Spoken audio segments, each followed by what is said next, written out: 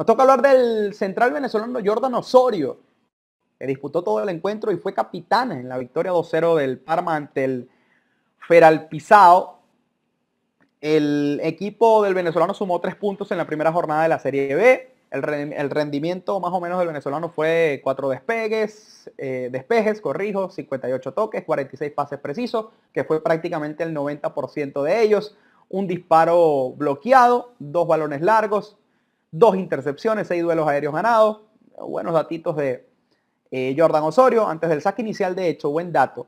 El capitán del Parma, Calcio, Jordan Osorio, dejó un ramo de flores bajo la curva norte para conmemorar el fallecimiento de nuestro histórico o del histórico hincha del Parma, Máximo Ugolotti.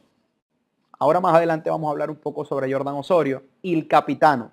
Se dice fácil, pero no es ser el capitano, el capitán de el Parma, quien le ha heredado esa cinta, nada más y nada menos, a Luigi Buffon.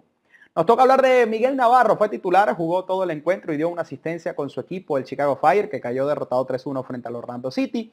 Vamos a ver la asistencia, Marquito la tiene ahí, la rodamos.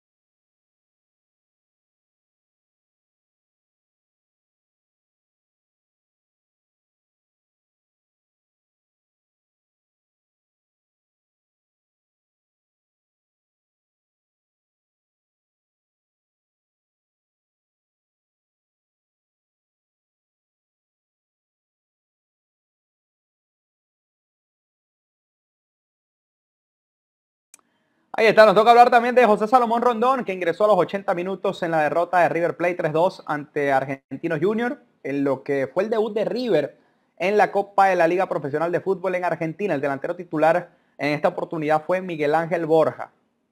Salomón Rondón no ve luz, es la realidad y creo que también hay que aceptarlo. Hoy Salomón Rondón no está siendo el preferido de Martín de Michelis. Por su parte, el Club Necaxa, dirigido por el venezolano Rafael Dudamel, viene de mal en peor. Este domingo sufrieron una dura derrota frente a Tigres 3-0, donde el venezolano John Chancellor se quedó en el banco de suplentes y no pudo hacer su debut. Los dirigidos por el venezolano marchan en la posición 16 con dos puntos en cuatro jornadas. Wow, complejo.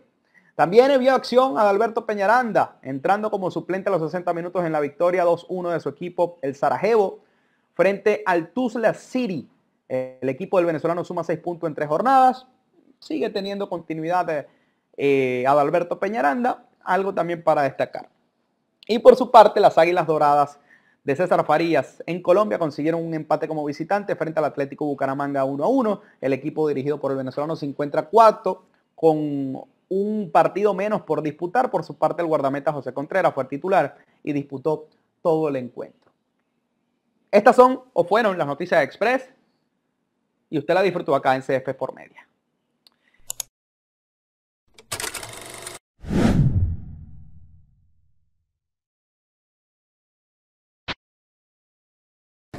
Bonita, ¿no?